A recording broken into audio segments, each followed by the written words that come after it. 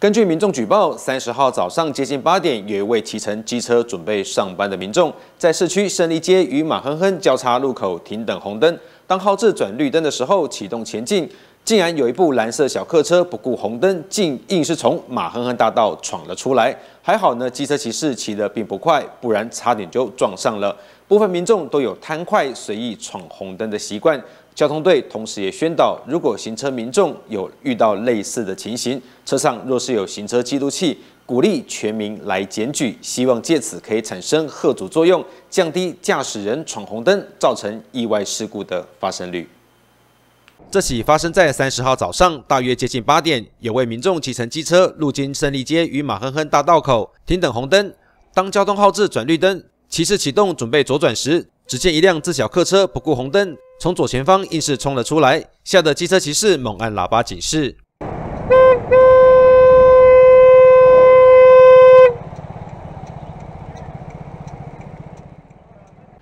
为了改善台东民众不遵守交通规则的习惯，从农历年后，县警局大执法，针对机车两段式左转、超速与闯红灯等等，强力稽查违规驾驶人。因为我们经过我们的统计哦，在我们台东市的凤园桥，还有在北南站大路口。这个民众违规左转的情形比较严重，那我们已经在那个地方已经设置这个告示牌，然后提醒民民众哦，大家在要依这个两段式左转，然后并告示告知民众前面有我们警方在取缔违规。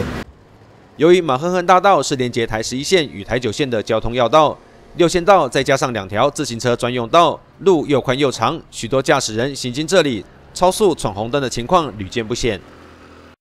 闯红灯这个行为哦，真的是蛮危险的啦，而且容易造成那个民众哦的一个严重的伤害。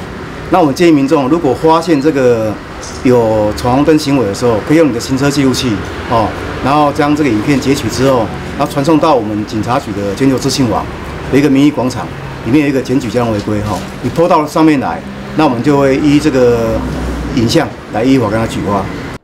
由于受限经费短缺，无法大规模设置超速闯红灯感应线圈及照相机。但是因为闯红灯造成的交通事故比例最高，交通队也鼓励民众，要是遇到类似情形，提供影片检举违规驾驶人。那鼓励民众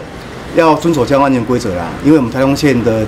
单靠警察来维持这交通秩序哦，真的是不力量不够啦。如果我们全民都共同来维持这交通秩序，那我们道路会更更加安全。